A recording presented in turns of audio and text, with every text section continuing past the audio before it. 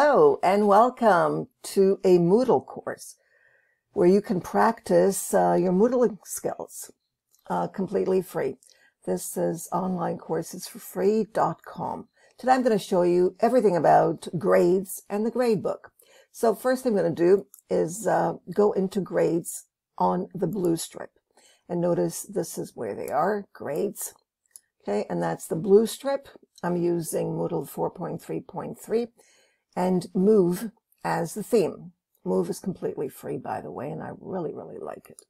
Right, so next let's go into grades. Click on it, and here it comes. Notice it asks to give me a tour, but I'll skip the tour for now. And um, notice what I have here. Under grades. Going to uh, see everything so I can explore it by going into the grade reporter and everything else about it. Notice I'm going to close the left. The right is closed. So let me close the left here, the course index. Now it's closed. And open the grader report.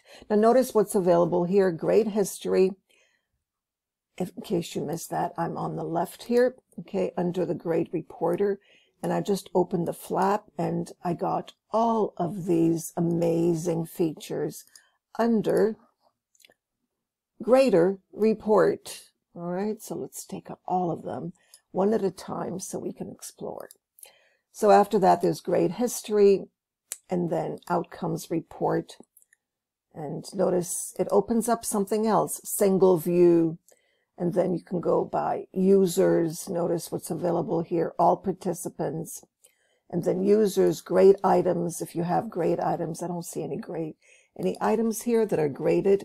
Grade summary, Okay, so these are some great summary activities, I guess, user report, if that interests you. And then the grade book setup. Yay, here it is, the grade book setup.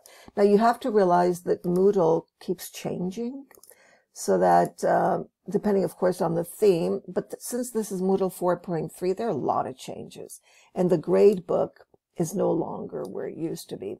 It's under grades notice the blue strip. So let's go into the grade book setup. That's still the same.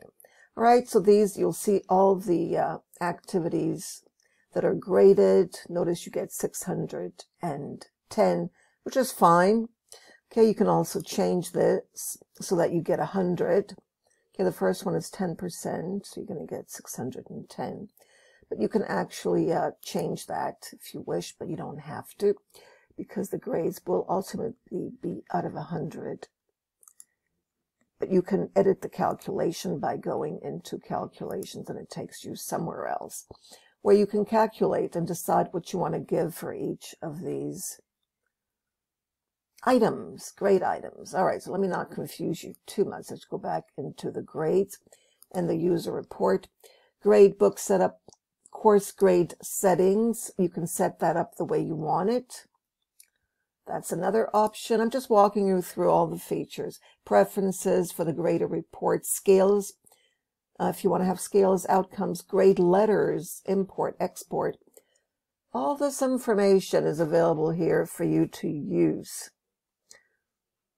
All right, so I hope this has been of help and you'll be able to continue the exploration and let me know what you come up with.